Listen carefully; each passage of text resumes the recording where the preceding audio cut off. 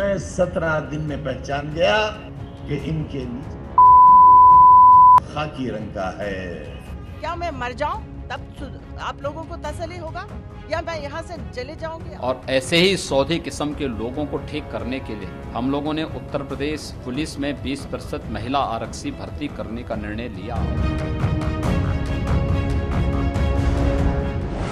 अपनी बदजुबानी के लिए मशहूर समाजवादी पार्टी के नेता आज़म खान ने एक बार फिर ऐसा बयान दे दिया है, जिसने सपाई मुखिया अखिलेश यादव की फजीहत तो कराई ही। साथ ही बसपा सुप्रीमो मायावती भी लपेटे में आ गई हैं, क्योंकि इस चुनाव में सपा और बसपा साथ मिलकर चुनाव लड़ रहे हैं। और दोनों ने मिलकर रामपुर लोकसभा सीट से आज़म खान को उम्मीदवार बनाया है। दरअसल रामपुर से बीजेपी के टिकट पर मैदान में उतरी जयप्रदा से चिढ़े आज़म खान ने रविवार को अखिलेश यादव की मौजूदगी में बेहद शर्मनाक बयान दे दिया।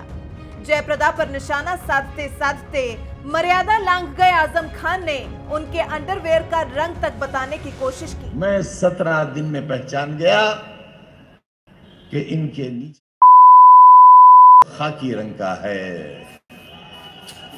मैं सत्रह दिन में पहचान गया। आपको पहचानने में आपको पहचानने में सत्रह बरस लगे। सत्रह बरस मैं सत्रह दिन में पहचान गया। जब इस शर्मनाक बयान पर सपा के वरिष्ठ नेता आज़म खान की फजीहत होने लगी तो तुरंत बयान पर सफ़ाई देने में भी जुट गए। आज़म ने कहा कि मैं रामपुर से नौ बार विधायक और एक बार मंत्री रहा हूँ। मुझे पता है क्या कहना है। अगर कोई ये साबित कर दे कि मैंने किसी का नाम लिया और किसी का नाम लेकर अपमान किया तो मैं चुनाव से हाथ पीछे कर लूँगा। अब आज़म खान भले ही सफ़ाई देते फिर रहे हो, लेकिन जो फजीहत, सपा, बसपा और खुद आज़म खान की होनी थी, वो तो हो ही गई। उनके बयान का संज्ञान लेते हुए महिला आयोग ने नोटिस भी थमा दिया है। तो वहीं बीजेपी उम्मीदवार जयप्रदा ने आज़म के चुनाव लड़ने पर रोक लगाने की मांग की है। उन्होंने कहा है कि अगर ऐसे लोग जीतते हैं तो लोकतंत्र का क्या होगा? समाज में महिलाओं के लिए कोई जगह नहीं होगी। एक महिला को हम लोग इसको रिपीट भी नहीं कर सकते, इसको वापस हम ये ये टिप्पणी किया करके हम मुँह से बोल भी नहीं सकते हैं। उस तरह की जबान इन्होंने इस्तेमाल किया है इस बार तो मतलब हद पार कर दिया। अब मेरा क्षमता ख़त्म। अब मेरे लिए वो कभी भी भाई नहीं है, कुछ भी नहीं है। वो हमारे लिए इतना दुश्मनी बना दिया। पता नहीं मैंने उनके लिए क्या किया मैंने ऐसे कौन सी बात कर दिया कि वो इस तरह की टिप्पणी कर रहा है?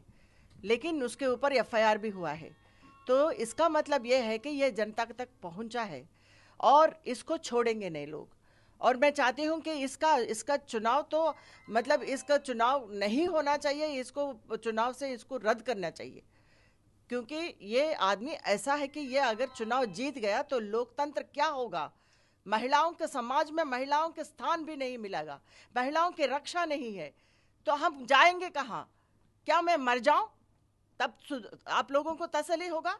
या मैं यहाँ से चले जाऊँगी? आप लोग सोच रहे हो कि मैं रामपुर छोड़ूँगी? अभी मैं डर के, मैं इसके टिप्पणी को मैं डर डर के मैं यहाँ से चली जाऊँगी? नहीं जाऊँगी नहीं जाऊँगी। अब मैं डट के रहूँगी, चुनाव लड़ूँगी। समाजवादी पार्टी की सोच और उनके संस्कारों को भी प्रदर्शित करता है। समाजवादी पार्टी के अध्यक्ष की इस पर चुप्पी और उनके गठबंधन के नेता, महिला होते हुए भी सुश्री मायावती जी की भी चुप्पी ये आश्चर्यचकित करने वाली है और बहुत दुखद भी है। ऐसे ही लोगों के लिए जो लोग महिलाओं के प्रति इस प्रकार की अभद्र भाषा का प्रयोग करते हैं, ऐसे लोगों के लिए हम लोगों ने उत्तर प्रदेश में सरकार आने के बाद एंटी रोमो स्क्वाड का गठन किया था। और ऐसे ही सौदे किस्म के लोगों को ठीक करने के लिए हम लोगों ने उत्तर प्रदेश पुलिस में 20 प्रतिशत महिला आरक्षी भर्ती करने का निर्णय लिया और कार्रवाई हमारी युद्ध स्तर पर चल रही है। लेकिन आज़म खां का बयान अत्यंत शर्मनाक है। घटिया सोच को प्रदर्शित करता है। समाजवादी पार्टी के बारे में जो आम जन की धारणा है, उस धारणा का एक और उदाहरण प्रस्तुत करता है। आपको बता दें, आज़म खान और जयप्रदा के बीच जारी अदावत कोई नई बात नहीं है। आज़म खान इससे पहले भी बेहद आपत्तिजनक टिप्पणी जयप्रदा पर कर चुके हैं। यहाँ तक कि आज़म पर जयप्रदा की अश्लील तस्वीरें बंटवाने के आरोप भी लग चुके हैं। हैरानी की बात यह है कि इतना शर्मनाक बयान देने के बावजूद महागठबंधन के प्रत्याशी आज़म खान पर ना तो सपा मुखिया अखिलेश यादव ने कोई बयान दिया और ना ही बीएसपी सुप्रीमो मायावती कुछ बोली। इससे पहले बजरंग बली को बजरंग अली बताकर भी विवादों में रह चुके हैं आज़म खान।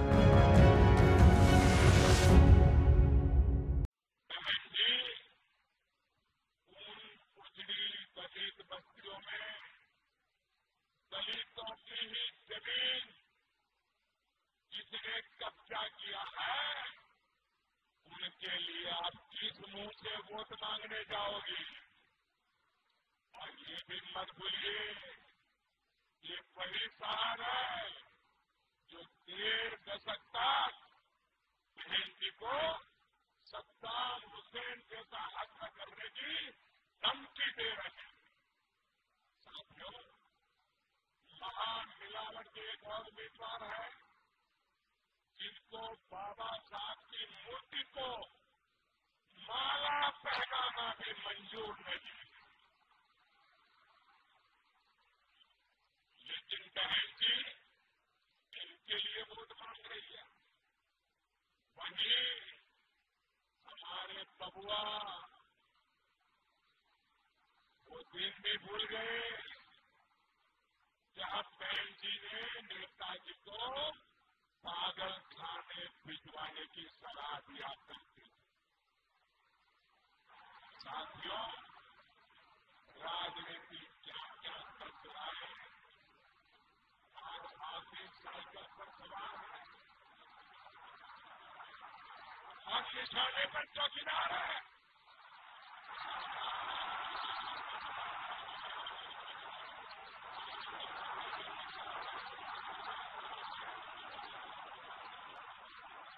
साथियों, असल में संकट अस्तित्व अस्तित्व का पहले की सारी गालियाँ पीछे छूट गई पड़ गया मेरा भी तुम्हारा भी वरना हो जाएँगे दोनों साथियों दुनिया में उसी की बात सुनी जाती है, जिसमें दम होता है जो सिर्फ़ रोता रहता है उसकी कोई नहीं सुनता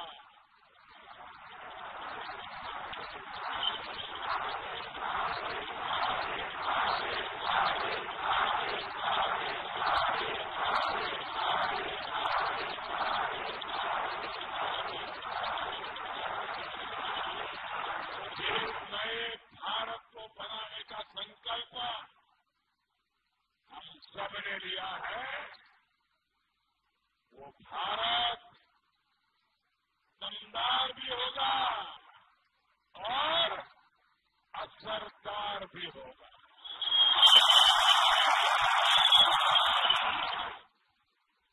भाई बहनों, पहले क्या होता था? पहले क्या होता था? पाकिस्तानी से आकर के आते थे। हमारे यहाँ धमाके करके जाते थे। और कांग्रेस की सरकार दुनिया में रोती थी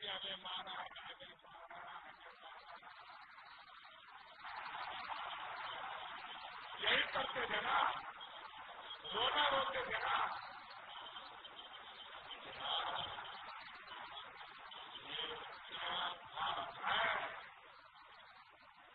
अब आतंक के सरपरस्तों ने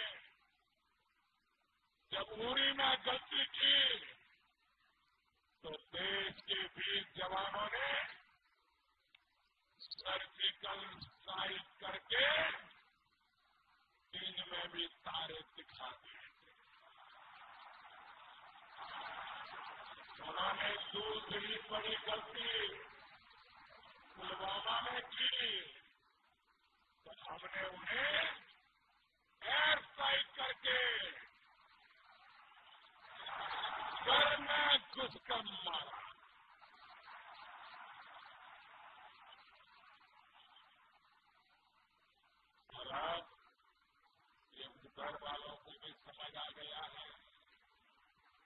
गलती थी गलती करने की गलती